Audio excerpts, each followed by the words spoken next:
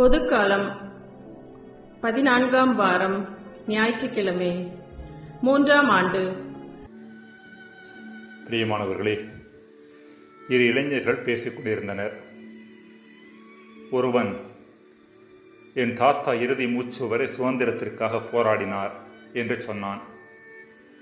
அடுத்தவன் உன் தாத்தா சுதந்திரத்திற்காக போராடினாரா? சிறைக்கு ஏதாவது சென்றாரா? என்று கேட்க முதலாம் அவன் என் தாத்தா நாட்டு சுதந்திரத்திற்காக போராடவில்லை தனது சுதந்திரத்திற்காக போராடினார். ஆனால் பாவம் கடைசி வரை என் பாட்டி அவருக்கு சுதந்திரமே கொடுக்கவில்லை என்றானாம் எல்லா மனிதர்களுமே சுதந்திரமாக வாழ விரும்புகின்றனர்.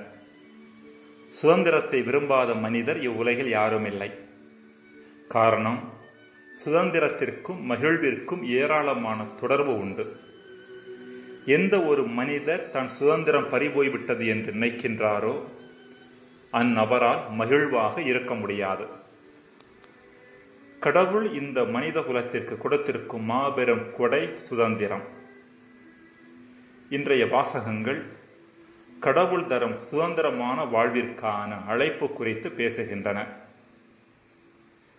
முதலாவதாக அரசியல் அடிமைத்தனத்திலிருந்து சுதந்திரம். கிமு ஐநூற்றி ஐம்பத்தி எண்பத்தி ஏழில் யூதாவும் அதன் தலைநகரான எருசலேமும் பாபிலோனிய அரசரான நபுக்கத் நேசரால் ஒன்றுமில்லாமல் ஆக்கப்பட்டன. இஸ்ரேல் மக்களை பொறுத்த அளவில் அவர்களது வீழ்ச்சி பல்வேறு வகையான துன்பங்களுக்கான காரணமாயிற்று. முதலாவதாக பாபிலோனியாவிற்கு அடிமைகளாக கொண்டு செல்லப்பட்டனர்.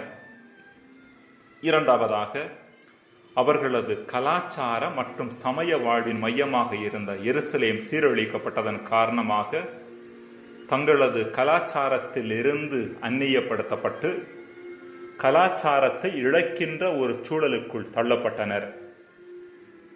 மூன்றாவதாக தங்களை எகிப்திலிருந்து மீட்டு கொண்டு வந்த யாவே இறைவனை வழிபட முடியாத நிலையும் அவருக்கு விழா கொண்டாட முடியாத நிலையும் ஏற்பட்டது. நான்காவதாக யாவே கடவுள் தங்களை மறந்துவிட்டார் என்று எண்ண ஆரம்பித்தனர். சுருக்கமாக சொல்ல வேண்டுமெனில் பாபிலோனிய அடிமைத்தனத்தின் காரணமாக தங்களது ஒட்டுமொத்த எதிர்காலத்தை பற்றிய ஒரு நிச்சயமற்ற தன்மையால் பீடிக்கப்பட்டு ஒருவிதமான வெறுமைக்குள்ளும் விரக்திக்குள்ளும் இஸ்ரேல் மக்கள் தள்ளப்பட்டனர். இப்படிப்பட்ட சூழ்நிலையில் யாவை கடவுள் தன் அன்பு மக்களை மீட்டெடுக்கப் போவது குறித்த செய்தியையே இஸ்ரேல் மக்களுக்கு எஸ்ஐயா இறைவாக்கினர் வழியாக எடுத்துரைத்தார். அதுவே இன்றைய முதல் வாசகம். ஆறு போல நிறைவாழ்வு பாய்ந்தோடச் செய்வேன். பெருக்கெடுத்த நீரோடை போல வேற்றினத்தாரின் செல்வம் விரைந்து வரச் செய்வேன். மார்பில் அனைத்து சுமக்கப்படுவீர்கள். மடியில் வைத்து தாளாட்டப்படுவீர்கள்.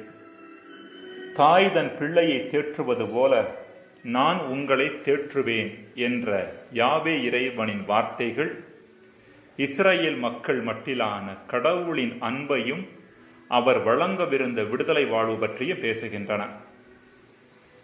இரண்டாவதாக சுய அடிமைத்தனத்திலிருந்து விடுதலை. என்னதான் ஒரு மனிதர் அரசியல் அடிமைத்தனத்திலிருந்து விடுதலை பெற்றாலும் சுய அடிமைத்தனத்திலிருந்து அவர் விடுதலை பெறாத வரை அவரது வாழ்வில் மகிழ்ச்சி இருக்கப் போவதில்லை. சுய அடிமைத்தனம் என்பது பணம் பதவி போன்ற ஆசைகளுக்கும் நம் சுயநல குறுகிய எண்ணங்களுக்கும் அடிமையாகி அவற்றை நிறைவேற்றுவதற்காகவும் அடைவதற்காகவும் நாம் மேற்கொள்ளுகின்ற முட்டாள்தனமான வாழ்வை சுட்டி நிற்கின்றது. மிக குறைவான பொருள்களை எடுத்துச் செல்ல தன் சீடர்களுக்கு அறிவுறுத்தியதன் மூலம் அதாவது பணப்பையோ வேறுவையோ மிதியடிகளோ எதுவுமே எடுத்துச் செல்ல வேண்டாம் என்று இயேசு கூறியதன் மூலம் பொருள் சார்ந்த காரியங்களுக்கு அடிமையாகாமல் இருப்பதற்கான அழைப்பை அவர்களுக்கு கொடுத்தார். மேலும் குறுகிய மனநிலைகளுக்கு அடிமையாகி கிடக்கும் மனிதர்கள் தங்கள் இல்லத்தை தேடி வரும் அமைதியை கூட உதறி தள்ளக்கூடிய முட்டாள் மனிதர்களாக இருக்கின்றார்கள் என்கிற செய்தியையும் இயேசு தருகின்றார். அன்புக்குரியவர்களே இன்றைய உலகில் நேரடியான அரசியல் அடிமைத்தனம் அதிகம் இல்லை என்றாலும் சுய அடிமைத்தனம் அளவுக்கு அதிகமாகவே இருக்கிறது. தொலைக்காட்சி அலைபேசி தொலை தொடர்பு சாதனங்கள் அழகு சாதனங்கள் பணம் போன்ற புறம் சார்ந்த காரியங்களுக்கும் குறுகிய மனநிலைகள் எதிர்மறையான எண்ணங்கள் போன்ற அகம் சார்ந்த காரியங்களுக்கும் அடிமையாகி கிடப்போர் எண்ணற்றோர். இப்படிப்பட்ட சுய அடிமைத்தனத்தை உதறி தள்ளாதவரை வாழ்வின் நிறைவை நாம் அனுபவிக்க இயலாது என்பது முற்றிலும் உண்மை. மூன்றாவதாக அணிந்து கொள்ள வேண்டிய அடிமைத்தனம். நாம் தவிர்க்க வேண்டிய இருவிதமான அடிமைத்தனங்கள் குறித்து பேசுகின்ற இன்றைய வாசகங்கள் நாம் தேடி அடைய வேண்டிய ஓர் அடிமைத்தனம் குறித்தும் பேசுகின்றன.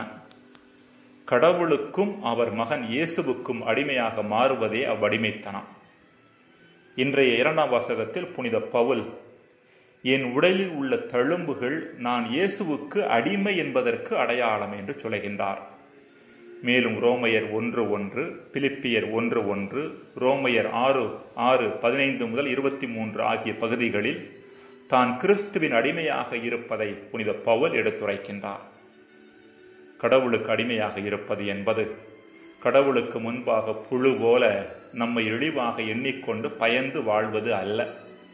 மாறாக நம் விருப்பத்தை தூக்கி எறிந்துவிட்டு கடவுளின் விருப்பத்தை நமதாக்கி வாழ்வதாகும்.